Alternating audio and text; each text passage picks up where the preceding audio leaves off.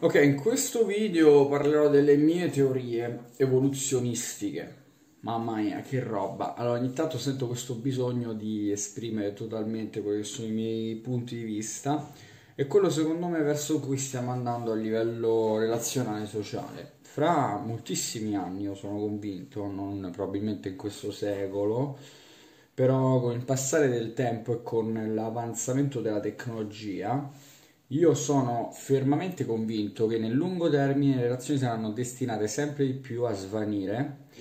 e che non ci sarà più una relazione sentimentale di base eh, con un prospetto di monogamia, perché più sarà facile sopravvivere all'interno della società e quindi più saremo avanzati tecnologicamente, meno sarà necessaria la presenza di un nucleo familiare perché ci sarà già il globale di fondo.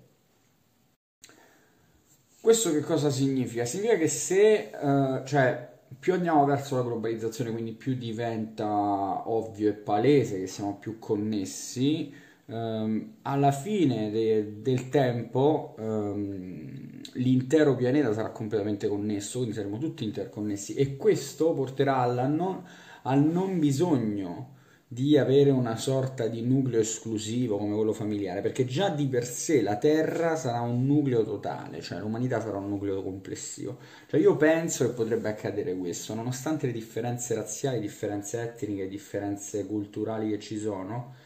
alla fine dei conti si tenderà alla non relazione, no? Ed ecco perché oggi al giorno d'oggi è diventato più facile e più difficile di creare qualcosa di stabile ma è più facile creare qualcosa di non stabile e questo ti fa pensare, se tu ti chiedi perché, perché una relazione stabile nel 2020 è più difficile rispetto a una relazione che magari 50, in 30 anni fa, 20 anni fa era più facile, si riusciva a rimanere un po' più stabile, eccetera. Perché? Secondo me è a causa di quella che è la globalizzazione, è a causa di, insomma, dell'avvento della tecnologia, del miglioramento della tecnologia e dell'aumento della connessione tra esseri umani che è diventata sempre più veloce. C'è sempre più a disposizione un quantitativo di opportunità maggiori. Cioè, non è che noi non siamo mai stati così, noi siamo così come esseri umani come siamo oggi. Il fatto è che la tecnologia poi espone quello che è tra virgolette la tua natura di base, ovvero una natura fedifraga che è funzionale alla riproduzione. Quindi è molto difficile oggi, con tutti questi social network e tecnologie, eccetera, riuscire a mantenere una relazione stabile. Le relazioni stabili sono una sorta di utopia per come, viene, per come vengono concepite cioè nel senso, il concepimento di relazione stabile è eh, quella situazione dove si ipotizza no, che l'amore vada a vincere su tutto, amor omnia vincit, che insomma, mi ricordo il detto adesso com'era, però lì dipende perché lì si intende amore per qualcosa, la passione per qualcosa, perché è l'amore all'amor proprio, quello vince su tutto, l'amore per le proprie teorie, per le proprie passioni, per i propri hobbies forse, ma veramente si intende l'amore di coppia perché non serve solo l'amore per vincere con la tua coppia sentimentale, non serve solo quello, serve anche la cooperazione, la collaborazione, la sintonia, la chimica nei comportamenti sociali che poi metterai in atto tutte le volte.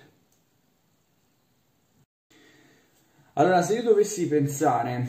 a una sana idea di relazione sentimentale mi verrebbe da pensare a una relazione dove c'è sì amore ma c'è anche una forte cooperazione l'uno con l'altro. Quindi mi verrebbe da pensare a una relazione dove delle persone si sostengono, quindi due persone sostengono l'una l'altra, non in termini economici ma in termini sentimentali e emotivi, cioè in termini di supporto eh, emotivo, di supporto psicologico. Perché alla fine dei conti un essere umano non ha bisogno di un supporto, di un supporto economico dal partner, perché il supporto economico vai fuori e vai a lavorare, ma ha bisogno di un supporto mentale, cioè ha bisogno di sapere che c'è una base ferma, stabile, di una persona al tuo fianco che è pronta ad affrontare quelle intemperie, quelle onde nell'oceano in mezzo con la vostra barca insieme a te che non ti lascia alla prima difficoltà. È questo quello di cui ho bisogno.